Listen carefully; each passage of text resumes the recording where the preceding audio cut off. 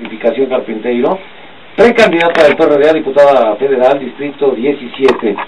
Las delegaciones son Álvaro Obregón y Coajimalpa. Purificación, mucho gusto. Buenos días, bienvenida. Señor, un placer para mí. ¿Qué onda? ¿Cómo empiezas? ¿Qué inicias? ¿Qué vas a hacer? Cuéntanos. Bueno, para mí es todo una sorpresa, como tú sabes, Nino, yo vamos, he estado siempre más bien metida en todo lo que es eh, el sector privado, ¿no? He participado en importantes empresas de telecomunicaciones, tanto en México como internacionalmente, la, mi, mi, ahora sí que mi tránsito a la política, que yo no llamaría política, sino mi incorporación al gobierno federal, fue como directora de correos y después ¿eh? como subsecretaria de comunicaciones en donde pues obviamente hubo un conflicto con el entonces secretario que era Luis Telles que generó un gran escándalo pero que me dinamitó más bien me, me puso dentro de lo que era el contexto de estar luchando por derechos en contra de la arbitrariedad de las autoridades, el abuso de poder y, y todo eso al final de cuentas favoreció a que me diera cuenta de que como ciudadanos tenemos que organizarnos, que solo, solos nuestra voz nos escucha y que unidos, al final de cuentas, tenemos la oportunidad de impulsar causas, las causas que nosotros consideremos legítimos. Y una de las causas que yo siempre pensé y teníamos y como ciudadanos que impulsar es precisamente la participación de aquellos que sin estar afiliados a un partido político tenemos interés de participar activamente en la vida política del país, porque no es posible que como partidos políticos ellos hayan quedado con el monopolio de determinar quién puede o no contender una elección popular. Politización. ¿Tú elegiste el partido o el partido te Yo busqué, eh, vamos, insistentemente la posibilidad de poder registrarme por ese partido. Como el licenciado Alan. Alan, él es aspirante a diputado local del PAN Distrito 2, Gustavo Amadero. Alan, mucho gusto. Nino, muchísimas gracias por la invitación. Muy buenos días a quienes nos acompañan en la mesa y un saludo al auditorio. Cuéntame, platícame, ¿por qué el Distrito 2? ¿Qué representa el Distrito 2? ¿Quién es Gustavo Amadero? ¿Qué ha pasado en Gustavo Amadero? Pues parece que es así como eh, un lugar difícil para ganar en el Partido de Acción Nacional. Eso es así como un bastión periodista, ¿no? Mira, yo no lo veo como tal, no es complicado para el PAN ganar. De hecho, el día de hoy tenemos dos diputaciones locales en Gustavo Madero, ¿Ah, en el Distrito 2 y el Distrito 7. Y además ¿El Distrito 2 quién está? El diputado Carlos Pizano. Y en el Distrito 7 está el diputado eh, Juan Carlos Zárraga. Tenemos también una diputación local, que es el distrito, eh, una diputación federal, perdóname, que es el Distrito 2 federal, eh, que lo tiene la diputada Rocío Orozco. Entonces, para mí... o sea, entras como Alan por su casa. pues mira, vamos a hacer mucho trabajo. De hecho, lo hemos estado haciendo. Yo creo que represento a los jóvenes del PAN y a los jóvenes de la ciudad porque necesitamos generar esos espacios en política, esos espacios de representación. Yo quiero aportarle sangre nueva a la política de la ciudad.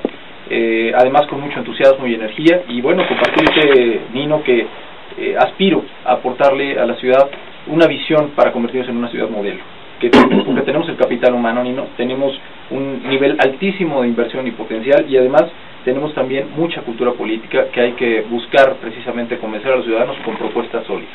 También nos acompaña el día de hoy el maestro David Sánchez Aprensal, el secretario electoral del PAN. David, mucho gusto. ¿Cómo estás, Nino? Con el gusto de saludarte a ti y al auditorio que nos escucha. Y quisiera yo empezar por decirte que en el PAN estamos muy contentos. Y estamos muy contentos, como tú sabes, porque ya ha salido humo blanco, haciendo esta metáfora lo que hacen en el Vaticano en su momento, y diríamos que habemos candidata. El Partido Acción Nacional se puso de acuerdo, llegó a un consenso, más allá de lo que se diga, se llegó a un consenso y tenemos una candidata que viene de la ciudadanía, la señora Isabel de Wallace. Así la conocen, Isabel Miranda. Oye, todo el mundo le gritaba a la Wallace, todo le gritaba a la Wallace así. Y además la, quieren mucho porque finalmente representa una causa ciudadana. Yo creo que ella, más allá de la persona, es una historia, es una historia de un ciudadano que se hartó de la pasividad de los que estamos de este lado, de los partidos, del gobierno, y dijo yo lo voy a hacer sola. Lo que a mí me sorprende es que lo pudo hacer sola por encima y mucho mejor de lo que lo debería haber hecho una institución como la Procuraduría pues todos sabemos cuántos miles de millones de pesos nos cuesta una procuraduría, en este caso como la capitalina, que tenía el señor Mancera, y el señor Mancera con policías, con agentes, con helicópteros, computadoras, sistemas de inteligencia, no pudo hacer lo que una señora con el amor por su hijo pudo hacer. Yo creo que es una historia con la que muchos nos identificamos y sin duda es un honor que la señora se haya sumado a la causa. Cuando si hubo un partido que te obstaculizó y molestó tu trabajo en correos y el excelente trabajo que hiciste en comunicaciones, me refiero en temas presupuestales y de la Cámara, pues era esa bancada que golpeaba al gobierno legítimo. Tú como una persona que venía del sector privado tuviste que vivir los embates de esa bancada que no dejaba hacer el trabajo y a pesar de eso yo tengo que celebrar, hiciste una transformación de los correos, algo que nadie puede negar. Pero a mí sí me parece un contrasentido después de que tienes a quien sabotea a los gremlins, por hacer una metáfora para que el auditorio entienda, de lo que estaba pasando, ya les dijo. Te vas con los gremlins, no sé, yo lo dejo para reflexión. y a mi querido delegado, delegado Agustín Torres, yo más que una pregunta, una petición. en noviembre nos hicieron favor de romper la banqueta de la sede del PAN en Durango 22, esquina con frontera, y nos dijeron, mañana regresamos a arreglarla. Ya es enero de 2012 y la banqueta sigue agujerada. Ojalá tu gente de obras nos pueda ayudar y, y no tengamos que esperar a vernos en el programa para decirlo.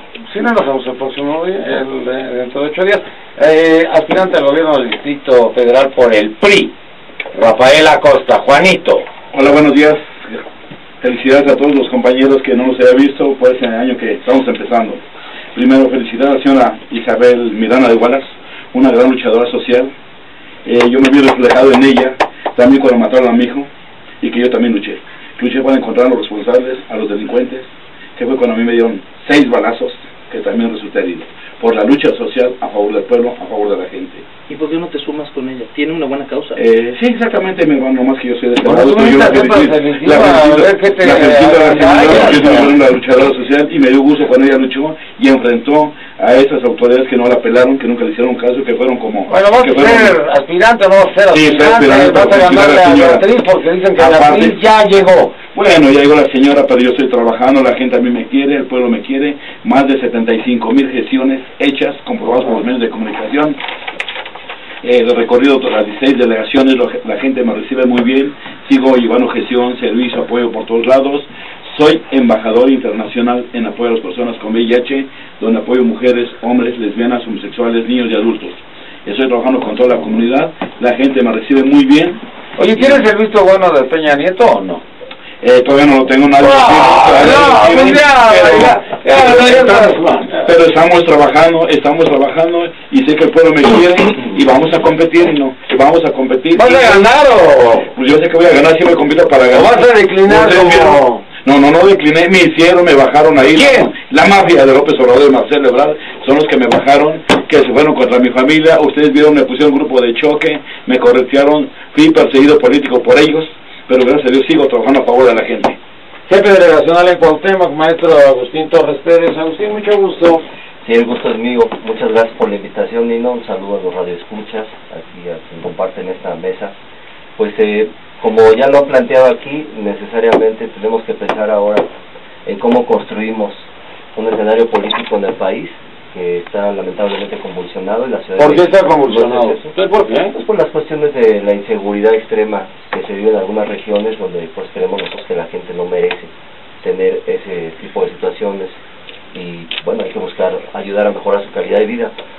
Pero, pero también la, la Ciudad de México requiere de ir consolidando un régimen democrático. A mí me parece que ha habido un avance importante en los últimos años después de que realmente tuvimos la posibilidad de ser ciudadanos o aspiramos a ser ciudadanos de primera, que aún no lo logramos, porque la reforma política está inconclusa en nuestra ciudad, pero pienso que se puede hacer un esfuerzo importante desde los órganos legislativos, en este caso la Asamblea Legislativa del Distrito Federal, quienes hemos tenido la oportunidad de gobernar, de servir a la gente desde estos ámbitos, nos parece fundamental que ahora se torne el papel de quienes participan en el órgano legislativo de una forma responsable y propositiva para que con ello construyamos las herramientas jurídicas que necesitan los gobiernos para generar bienestar social en la población. El Consejo Político de PRI en la Ciudad de México. Juan Carlos, mucho gusto. Nino, ¿cómo estás? Muy buenos días a ti, a tu y a los compañeros de la mesa.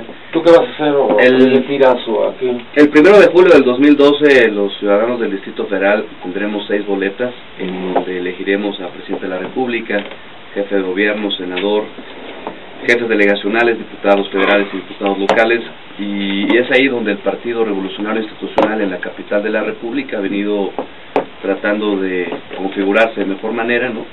estructurando eh, los cuadros políticos operativos que tendrán que dar la batalla de un mm, ustedes no tienen nada. No, sí tenemos. Dime qué delegación tienes. No, Ninguna delegación no, no, política. es, es correcto, no tenemos ninguna delegación política, pero ya estuvimos muy cerca en el año 2009 de alcanzar el caso de la delegación Milpalta. López Obrador también estuvo muy cerca de la presidencia de la Sí, República sí, nunca sí, llegó. Precisamente por eso está volviendo a buscar ser. Lo mismo es de estar cerca o lejos, ya, no llegas.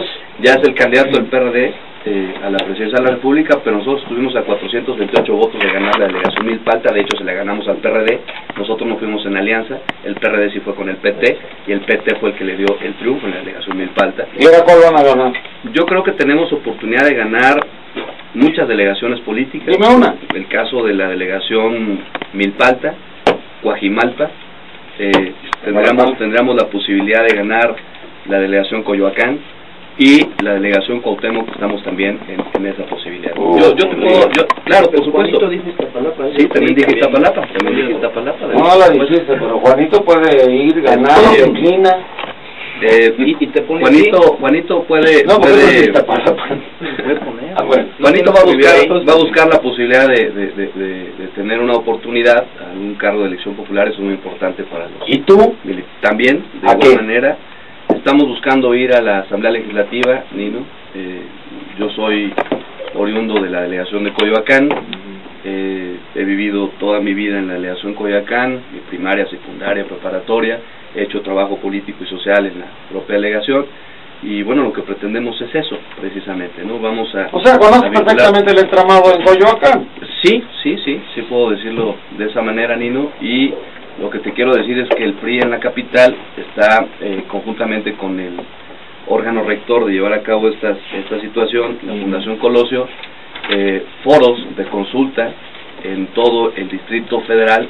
Ah, ¿van para- por consulta o van por dedos? No, nosotros... perdón, por designación, Los, los- los dos métodos de selección de candidatos en el partido es convención de delegados y eh, elección directa bajo dos modalidades, base militante y eh, la elección universal. Y eso es lo que estamos también por decidir precisamente el día de hoy ante la Comisión Política Permanente Nacional en el Comité Ejecutivo Nacional. Purificación, PRD. Nino, aquí yo tengo una, una pregunta interesante. Aparentemente todos los que están aquí eh, de alguna manera van a competir, están compitiendo por eh, algún cargo dentro de lo que sería el Claro. Distrito Federal. ¿no? Así es. No, no creo que ninguno esté aspirando